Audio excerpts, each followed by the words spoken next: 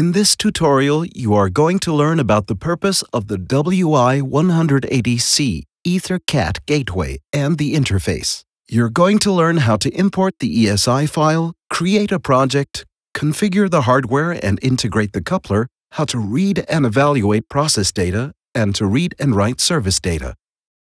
WI180C is a field bus gateway, which can connect up to 16 device modules.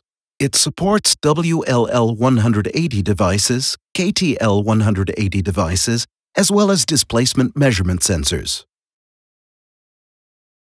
For detailed information about the interface of the WI180C, please look at the Operations Manual. To import the ESI file of the WI180C, download the ESI file from SICK.com and copy it into the following folders on your hard drive TwinCAT, 3.1, Config, I.O., EtherCAT. Once you have launched TwinCAT, open an existing project. Please make sure that you are connected to the PLC. In order to be able to find the components later on, put the PLC in config mode. Use the Scan Wizard to search for devices connected to the PLC select which bus you want to scan for devices. In this case, it's the EtherCAT bus. As you can see on the left, the gateway was successfully recognized. First, we check the configurations of the slots. In this case, we have connected four WLL180T modules, and all of them have been set correctly. Let's have a look at the in and outputs. The inputs receive the switching outputs of the sensors the outputs contain either teach or error signals. Below the modules, you see the respective in and outputs. All variables for in and outputs are 2 bytes long. Each bit represents a connected device. Now create a PLC application to connect variables to the hardware. Once you've opened the newly created project folder, you will find the main application in the POU folder, or called Program Object Units. In our example, we will declare variables for the output of Channel 1, the Teach In, and the received light level of Module 1.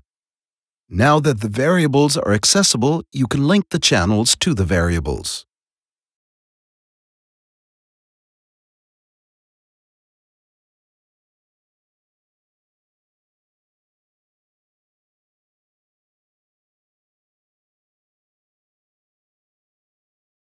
Press Activate Configuration.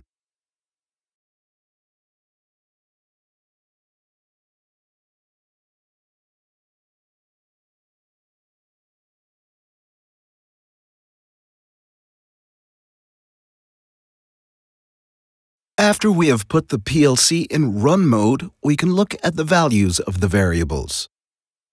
In this case, the binary switching output.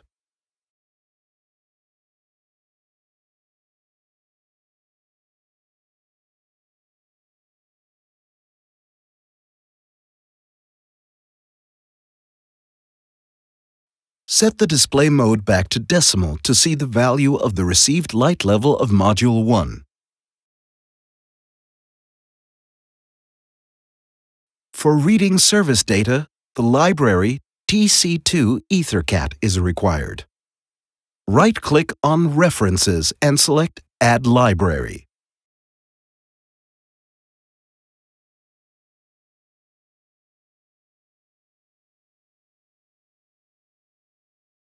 In order to be able to read and write service data from the PLC, we are going to add two function blocks to the application.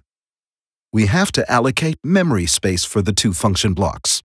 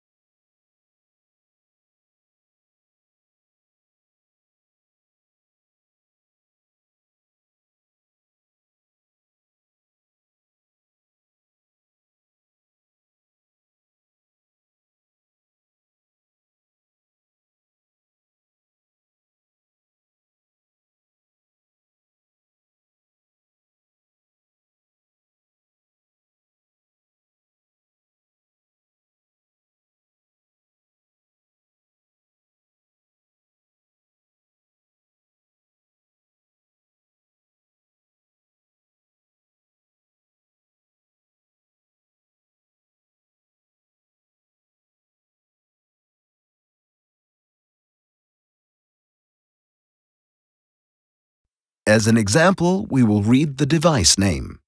Therefore, we have to look up the index in the operations manual, which you can find on the SICK website.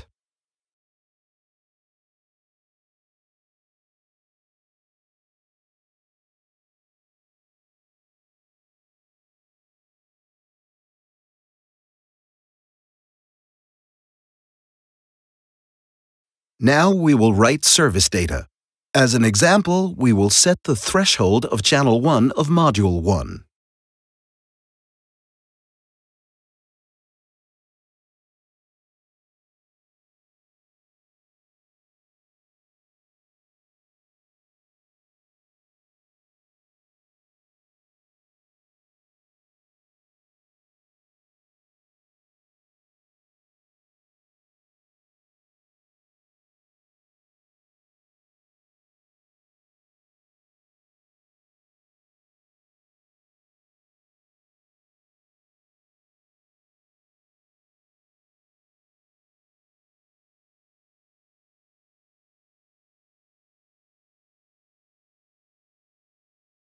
Let's say we'd like to set the threshold of channel 1 of module 1 to 400.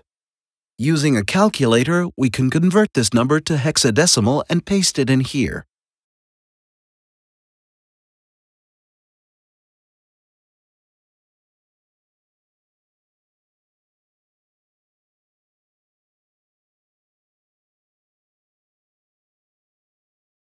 Now the threshold of channel 1 has been successfully set to 400.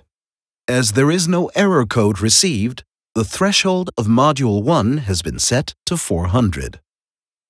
In this tutorial, you have learned how to integrate WI180C with the PLC, how to import an ESI file, how to read and evaluate process data, and how to read and write service data.